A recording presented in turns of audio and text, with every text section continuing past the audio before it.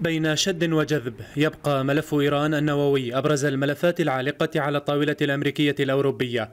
فبعد أن أعلنت إيران أنها اتخذت خطوة جدية لتقليص التزامها المنصوص عليه في الاتفاق النووي المبرم عام 2015 ورفع كل القيود عن أنشطتها للبحث والتطوير.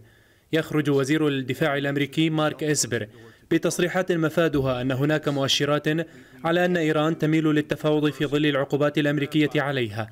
حديث أسبر هذا. يأتي تزامنا مع دعوة فرنسا إيران للامتناع عن أي عمل يتنافى مع التزاماتها النووية. الخارجية البريطانية بدورها أبدت انزعاجها من الخطوة التي اتخذتها إيران بتسريع أنشطتها النووية.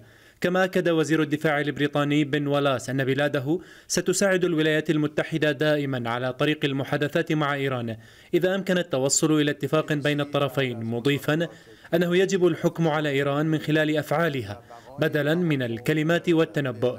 وأن أي اتفاق في هذا الاتجاه سيؤدي إلى السلام والاستقرار في المنطقة. تطورات الملف الإيراني تجاوزت الملف النووي إلى أمن وحماية الملاحة في مياه الخليج حيث قال مسؤول في وزارة الدفاع الأمريكية إن وزراء من الولايات المتحدة وفرنسا سيناقشون خلال الساعات القادمة التنسيق بين القوات البحرية لضمان حماية الملاحة في مضيق هرمز.